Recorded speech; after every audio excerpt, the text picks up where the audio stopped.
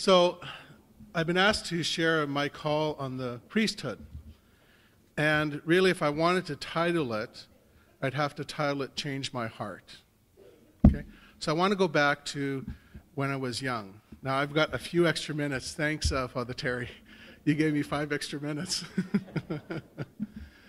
um, I'm from, you know, where am I from? What do you do when you say Saskatchewan? You bow your head. Okay. Where am I from? Okay, that's much better. That's a couple years off purgatory for you. I'm from a, a family of, of seven, and we grew up on the, on the farm, and faith was always something that was important to us. The only problem was, is it really was just important to us on Sunday. All right? And um, but mom always made sure that we were at Mass, and she was a very faithful woman. When I was younger, there was always, um, there was always a joy in my heart. There was always a joy that was there, and, and I, I loved singing, all right? It was just part of who I was. Um, one of the things we did to uh, help um, get money for winter clothes and that, we trapped. So I would go on the trap line, and you know I'd be off over here, and I'd sing all the way over there, all the way around. It was just, you know, it would just bring me a lot of joy. Okay, and when I was 11, my parents separated, and we moved to Saskatoon, um, and all the joy seemed to have kind of gone. You know, well, what have I got to be joyful about? My dad's not with us. Mom is really struggling mentally, like she was having a nervous breakdown, you know, and it was just a real hard time for the family. But then my mom and my aunt, one of my aunts, heard about these meetings. You know, now this is back in the early, this is like 70, 71, and and they thought, okay, well, we'll try this meeting because um, you know, for them, Al Anon wasn't exactly what they were looking for. So they went to these this prayer meeting, all right, and they saw a nun there, and they saw a priest there, and they thought, okay, well, it looks like it's Catholic. but they continued to go, and of course, it was a charismatic prayer group, right? And there they found the strength and the courage that they needed. And my mom invited me to, to come to one of these meetings. And, you know, I would have been 13 at the time. And I thought, you know, she says, well, do you want to come to a prayer meeting? 13 year old, like, a prayer? so I said, well, what do they do? You know, and she says, well, we pray. And I'm like, yeah, I kind of figured that. And, but then she also said, you know, there's a lot of music and we do a lot of singing. And that caught my attention because for two years, I really didn't do a whole lot of singing. And so that really caught my attention. And so I started going, and there I found the Lord, right? I found Jesus. And even though the faith didn't go as deep as it needed to go, he planted a seed. See, at the age of 15, I decided because really I was the only one there my age who really wanted to be there. No one else my age wanted to be there. They were forced by their parents. And so I decided at that point, around that point, that, you know, Lord, I'm going to go away for a bit, but I'm going to come back. I'll come back to this eventually. And for the next four years, life was just miserable. And I'm not going to get into all of that, but it was really, really a difficult, difficult time in my life. Then at 19, is when I returned back. I said, Lord, if you still love me, I want to come back. You know, because at this point, I really didn't think God loved me anymore. Um, there was just a real lot of difficult situations in, in my life. But I came back, and little by little, He started to change my heart. And little by little, I let Him in a little bit more, a little bit more. Oh, oh, too much. a little bit more, you know. Because every time I opened the door a little bit more, it hurt. There was a hurt. But at the end of that hurt, there was something that that at that point I couldn't really name what it was, but what it was was that joy was starting to come back. That joy of my childhood, the simple, simple joy. I have a picture of myself at home. It's uh, me as a, a one year old. I, I figure around one year old because I wasn't walking yet at the point at that point. Now, the original picture had me and my cousin, but I cut him out. I blew it up and I cut him out because he wasn't smiling. No. but I, I had that picture blown up, and the reason I kept, I want it for me is because I am smiling like the Banji in there. Like I've got this huge smile on my face, and in my eyes, there's a simplicity, there's a joy there. And I'm like, Lord, that's what I want. I want that joy back. I want the joy of my childhood back. You know? So that started to, to come very slowly, though.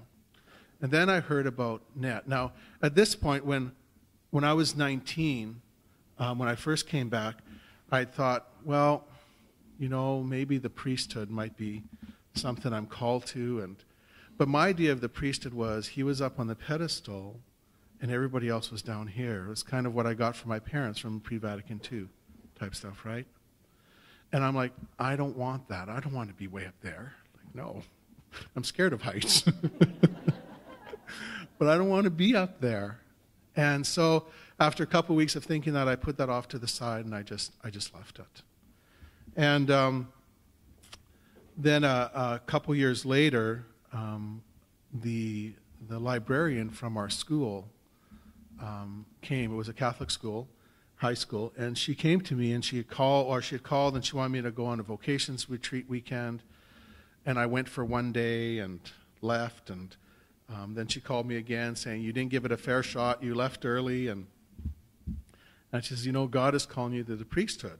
And I said, "Well, until He tells me, I'm not doing anything about it." you know, that's nice. Anyways, so. Um, so she left me alone, except for I'm sure she prayed for me a lot. Anyways, then I heard about NET, NET USA. Now that's, that's way before NET Canada was even being thought of, all right? This is at, in 85, um, at the beginning of NET, and when the companions were starting. And I thought, oh, jeepers, this means I have to go to the U.S. You know, now at that time in my life, I didn't think a lot of good things about the U.S. okay? And so I said, Lord, you're going to have to change my heart. You have to change me. And over time, he started to change me. And I, I knew that I was supposed to go to, to NET USA. So I went there for, for two years. And actually, my second year is when I heard about the Companions of the Cross.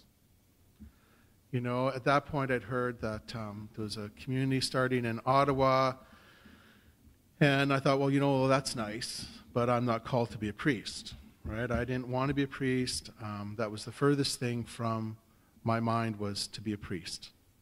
Um, and so when I, but by the time I left NET, my heart again had changed. It's like, okay, God, I'll do whatever you want me to do. You know, I'll do whatever it is that you want me to do. So I got back to Canada. I started working as a youth director in southern Saskatchewan. And there I went on, um, uh, what was it called? It's, it's like a Cursillo, but it was search. It's for, for uh, young adults and teenagers. And I went there because I was, gonna, I was able to meet a lot of the young people from the diocese, because I was the youth director for the diocese, and this was a perfect opportunity. And my aunt, who's a Grey Nun of Montreal, she was going to be giving her testimony on her vocation call. And I'd never heard it. You know, I'd never heard it. And now this aunt, she she makes me look quiet, okay? and she has and she's got such a great great joy and she loves being a sister. She loves it. You know? And I've always seen that in her. So I was really interested in hearing what she had to say. So the weekend came, I went, and you know, I heard her, her vocation call, and it was wonderful. And I had her already known part of it. This is my mom's sister. But before she went in, she was dating my dad's brother. Okay?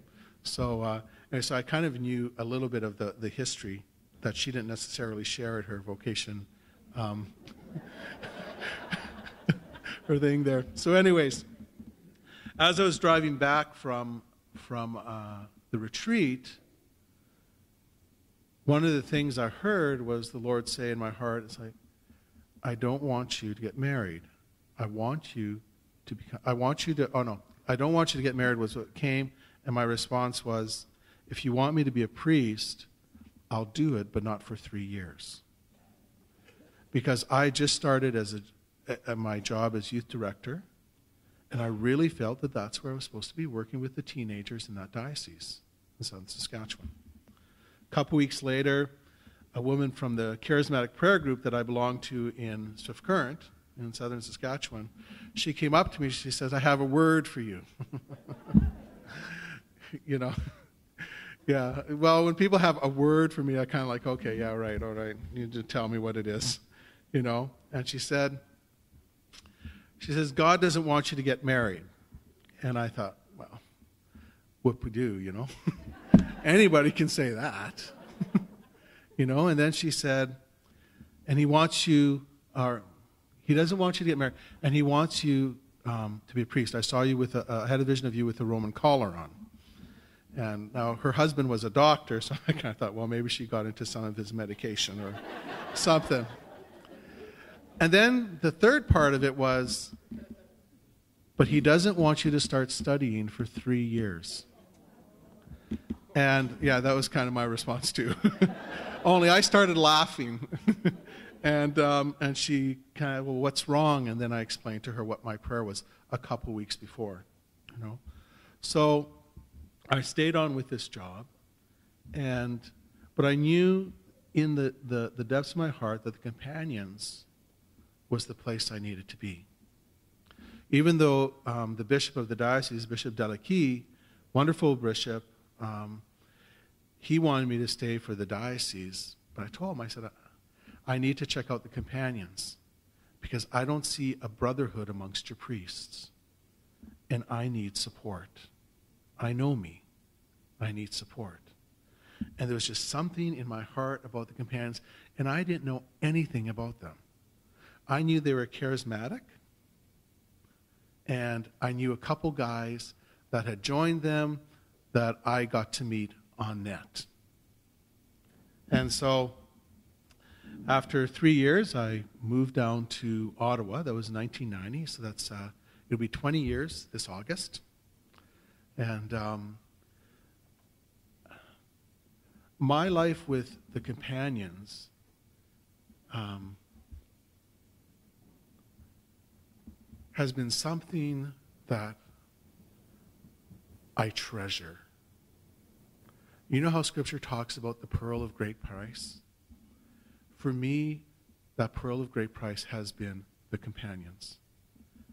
Yeah, we're a goofy bunch of guys. And you know, are we perfect? No, we're not. We're broken men, but we know that we're broken. And the great thing is we're broken together and together God will heal us. Right? God places us into the situations where he where he wants to make us holy. So I've got 38 other priests and 10 seminarians to make me holy. I'm a tough case. but the joyful thing is is I'm there to make them holy too. I think they got the tougher case than I do. But the call to the call to the the priesthood has been a really wonderful, wonderful thing. Like when I came to the seminary, when I joined the companions, it was like, okay, well, I'm not sure, I'm just kind of checking things out. But then what happened to my heart? He changed and changed, little by little by little. Before I was ordained to the diaconate, I asked Father Dennis, I don't know if he remembers this or not, but I asked Father Dennis, when do you know for sure, like for sure, that you're called to be a priest? You know, and you wait in anticipation. I'm going to find out. and he says, about four or five years after you're ordained. Isn't that a little bit backwards? Isn't it? Anyway, so I was kind of disappointed, but um, after about four or five years of being ordained, um, I found out he was right. I was pastor at St. Timothy's in Toronto, and it just hit me all of a sudden. You know what? The priesthood fits like a glove the priesthood fits like a glove for me. And there was a real, there's a real joy for me in the priesthood. Yeah, there are days where, you know, you get out of bed, you know, jeepers, I just want to go back to bed, you know, put on my CPAP thing there and go back to sleep. You know, when you get older, you need these machines to help you sleep. But all in all, there's a real joy in the priesthood. You know, there are a lot of, a number of men are being called to the priesthood, a number of women being called to religious life. And I think one of the issues of, for them is the fear of making that commitment. Am I going to be happy? Am I going to feel fulfilled? The answer is yes if there's that call to the priesthood, yes, you will be fulfilled. The Lord will give you that joy. Now, it may not happen the day after ordination, but it will happen. You know, for me, it was four or five years. I think it was five years. You know, where I just knew that this was it. This was my place. And I'm so glad I'm so thankful to the Lord that He has changed my heart. And you know what? He continues to change my heart. Not only my heart, but your heart as well. If He's not changing your heart, then there's something wrong. You know? It's like if we're not moving forward with the Lord, we're kind of moving backwards. So come to the Lord continually asking Him, Lord, change my heart. You can be with the Lord 30, 40, 50 years, and you still need to ask Him to change our hearts. When I came to the Lord when I was 19, and I looked at these people thinking, wow, they've been with God for, you know, they've been following Jesus for 20 years. Whoa. Wow, they got to be holy. Holy smokes, and they got it made. You know? I've been with the Lord now, well, let's see, 19. Well, I don't even know, I can, my English is, or my math is terrible. So I'm 50 now. So 19. Can anybody do the math for me? 31 years. Okay, there we go. 31 years. And I'm like, shoot, man. I thought I'd be holy by now. But what I am by now is that I know that the Lord will change me and He'll continue to change me as long as I give Him permission to do so. So, brothers and sisters, this year we celebrate the year of the priesthood. Pray. Pray for priests. Pray for your parish priest. Pray for the diocesan priest, as the bishop asked yesterday. Pray for the bishops in the world. And pray for vocations that young men won't be afraid to say yes.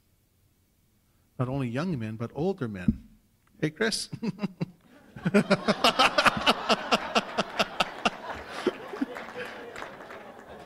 that one was for Father Bob. You're talking about uh, 4.0 um, discernment. I've come up with 5.0. That's for late vocations, and then now there's 6.0 for even later vocations. So I'll share that one with you later, all right? pray for priests, you know, and pray that we would be holy men willing to sacrifice our lives for God's people. And if you get mad at one of them, pray for them. If you get mad at me, pray for me. Okay? We need to pray. God bless. And I think I made my time.